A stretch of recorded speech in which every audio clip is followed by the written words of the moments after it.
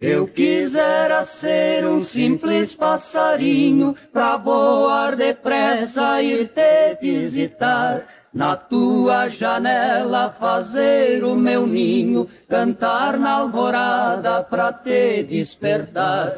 Eu quisera ser o pranto que choras, rolar no teu rosto e morrer no teu seio. Só esta aventura, muito curta, embora recompensaria o meu devaneio.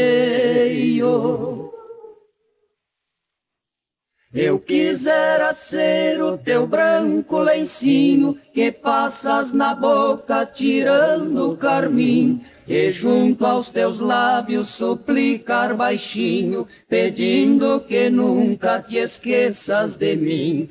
Eu quisera ser o clarão do luar que entra nas frestas da tua janela e junto ao teu leito poder te abraçar dizer que te amo, querida donzela.